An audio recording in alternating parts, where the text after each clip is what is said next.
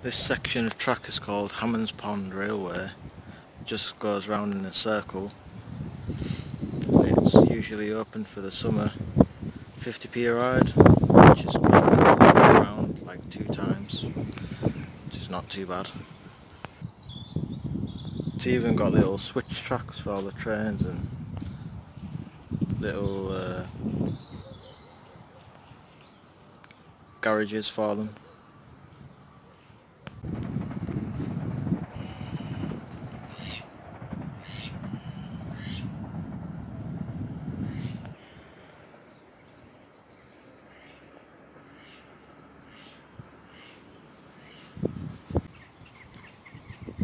Some ducks just chilling on the shore.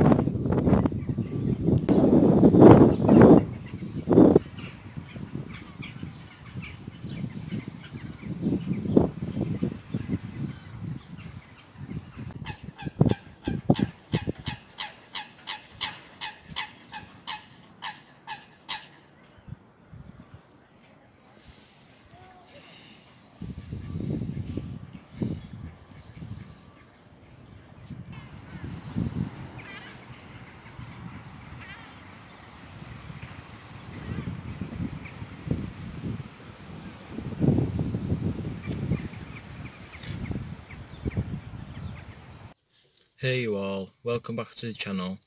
Today's video is going to be a little different. Um, I was going to make a video on the wheel bearings and how to jack your car up properly and that yesterday.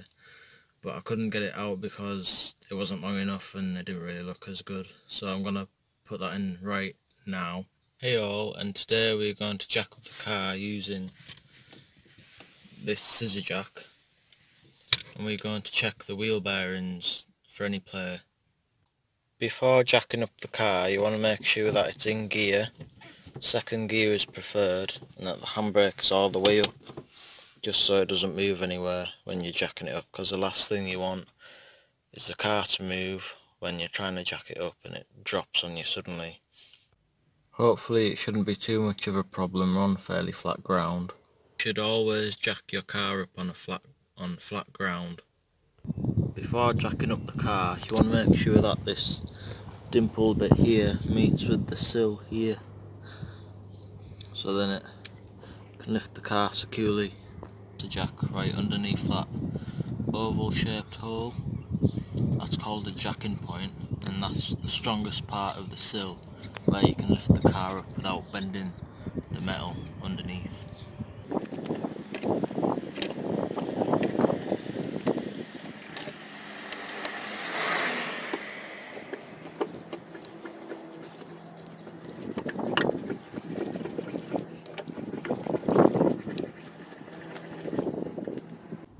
now that the car is slightly off the ground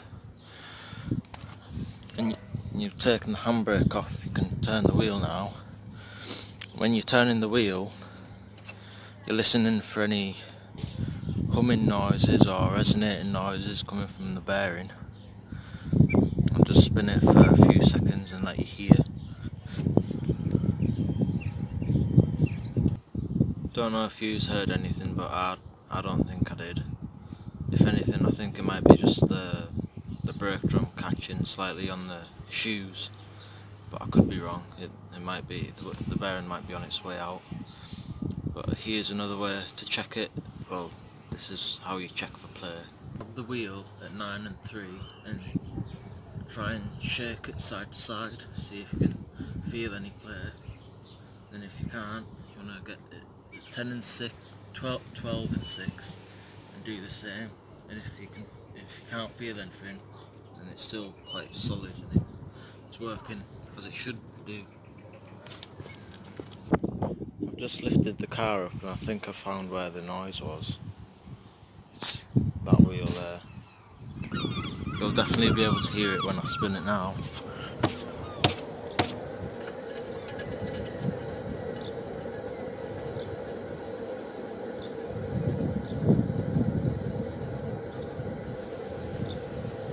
Passenger side rear that's the culprit.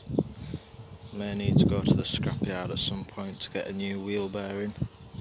Well, brand new wheel bearing, or I could maybe think about buying one. I don't know yet. around. Yeah, so that was yesterday. wasn't It wasn't too long, but it, it explained how to check your wheel bearings for shakiness and play and yeah, in general where my wheel bearing on the back passenger is but is on its way to failing because it's really loud. I'd have to put a clip in there somewhere. So yeah, today's video is going to be about just look, just I don't know, enjoying life and looking at a few cars. Not for me, this car. This Renault Clio is good enough for me. But yeah, just cars in general. So, follow me.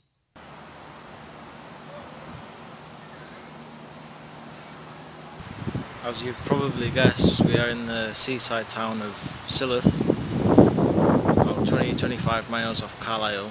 Just come for a wander, a bit of a look about.